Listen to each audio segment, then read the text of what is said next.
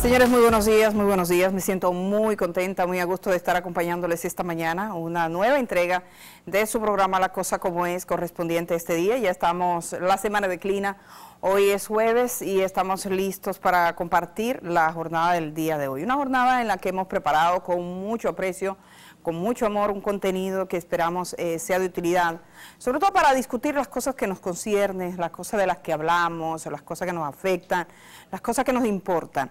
Y quiero invitarles a que, por supuesto, se pongan en contacto con nuestro equipo a través de nuestras cuentas en redes sociales, eh, periodista edithfebles.com, ese es mi correo, ahí recibo sus mensajes.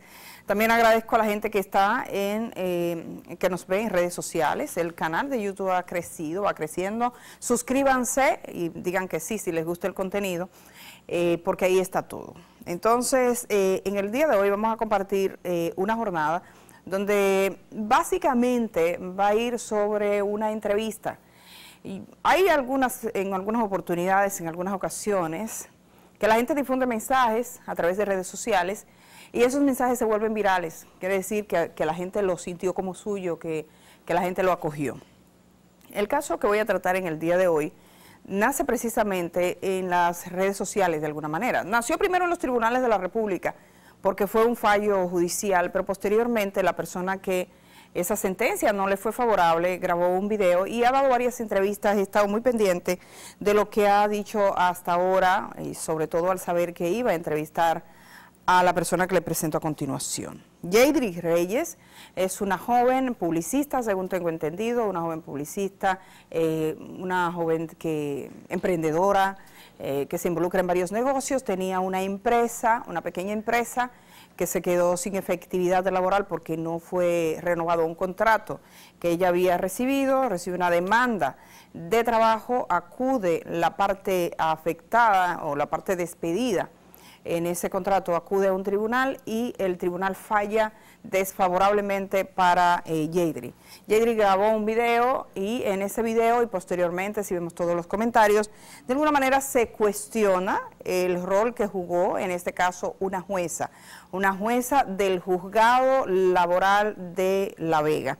La magistrada Audrey Reyes Núñez está con nosotros esta mañana, ya está aquí en nuestros estudios. Con ella vamos a conversar, muchos de ustedes probablemente han visto el video. El video de Yadri dura, dura poco más de ocho minutos. Yo le he invitado alguna partecita, pero lo esencial está, y lo he dividido en dos bloques. Además, Yadri ha dado una entrevista en el día de ayer junto a sus abogados, eh, o a su abogado, tiene uno, y quisiera también compartir algo para que pudiésemos ver digamos que las dos versiones de este mismo asunto, porque de hecho aquí no lo habíamos tratado. Así que lo que haremos en este momento es lo siguiente, me voy a ir a la pausa. Al irme a la pausa le voy a dejar con la primera parte de la historia de Yadri.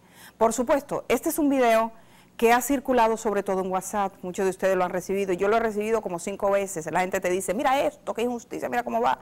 Entonces, vamos a ver esa primera parte, cuando regresemos vamos a ver la segunda parte y vamos a conversar con la magistrada Reyes Núñez, que como saben no solo está lo que Yeidri ha dicho, sino que la gente habla y comienza y opinan, entonces la magistrada se ha sentido en el deber y ha pedido para eso eh, la posibilidad de estar en este programa, cosa que agradecemos.